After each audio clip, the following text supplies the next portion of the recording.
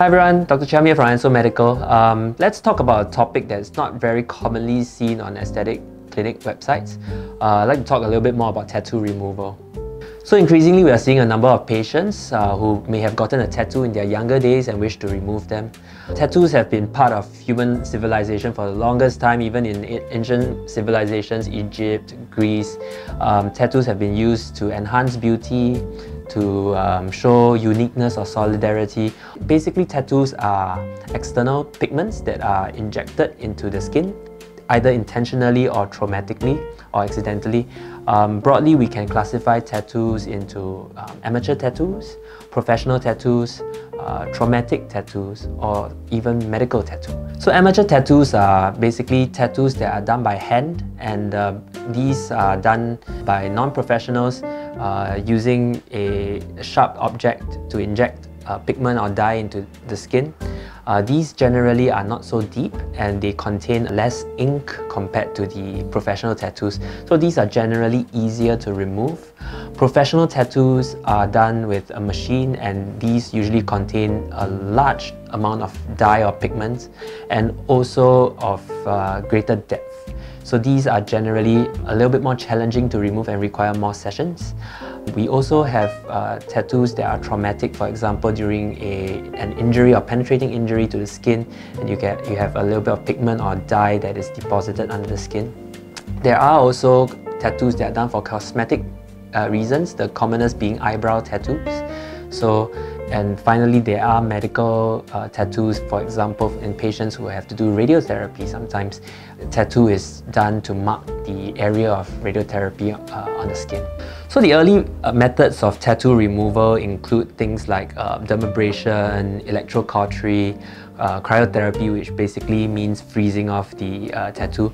These are usually destructive methods of removing tattoos and um, they generally result in incomplete uh, removal of uh, the tattoos and the ink from the skin. And the problem with these destructive methods, it tends to lead to a lot of scarring. So the most effective method that we have uh, found for removing tattoos is actually by laser treatments.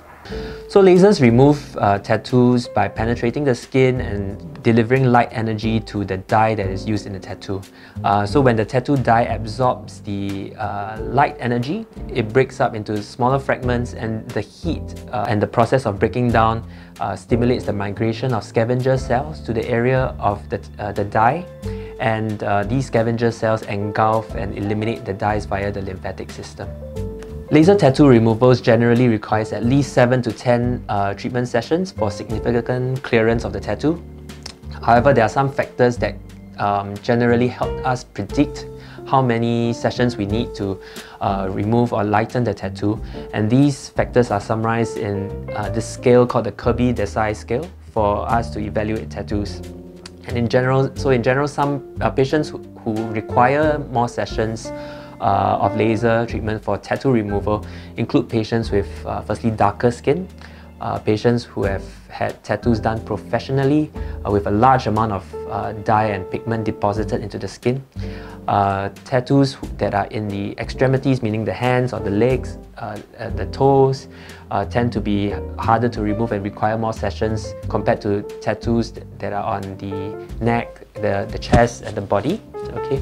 If you have uh, scarring in the area of the tattoo, the tattoo is generally harder to remove as well. Multicolored tattoos uh, tend to be more challenging compared to single colored tattoos. And uh, tattoos with uh, multi-layers uh, under the skin tend to be harder uh, to remove as well. So what kinds of lasers are used in tattoo removal? Um, in general, the type of laser that we use to remove a tattoo depends on the color of the tattoo.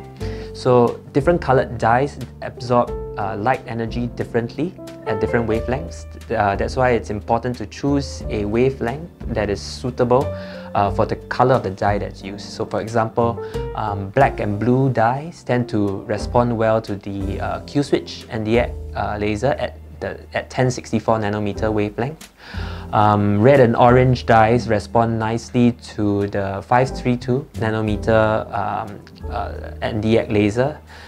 Black, blue uh, and green dyes respond very well to the 755 nanometer Alexandrite laser.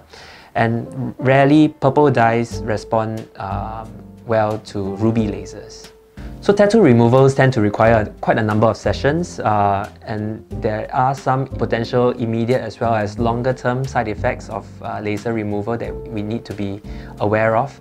So downtime that's associated with uh, tattoo laser removal include redness, swelling, sometimes some blistering as well as uh, a little bit of discomfort over the area.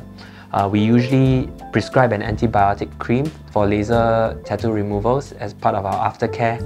And uh, potential long-term uh, side effects of laser removal include um, scarring, as well as pigment changes over the area, uh, be it hyperpigmentation or hypopigmentation. Sometimes in the area where we do uh, the laser, textural changes uh, can be seen as well. Uh, the, the area that's been treated can have a little bit of a different texture compared to the rest of the normal skin.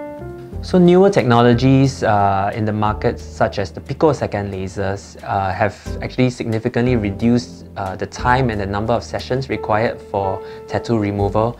And in general, it also improves the overall clearance of the, the tattoo. In particular, the picosecond uh, 755 nanometer alexandrite laser has been shown to be very effective in helping to remove tattoos. This is even with multicolored tattoo. Uh, also, combination laser therapy, such as combination with a, an, a fractional erbium YAG laser, has been shown to increase the uh, clearance of the pigments of the tattoos, as well as also to reduce the downtime and the number of treatments. So every patient is different and every tattoo is different as well, so do drop in to the clinic for a consult if you have a tattoo you wish to remove and you want to know more. Uh, I'm Dr. Chiam, thank you for watching and we see you soon at Ensoul Medical Clinic.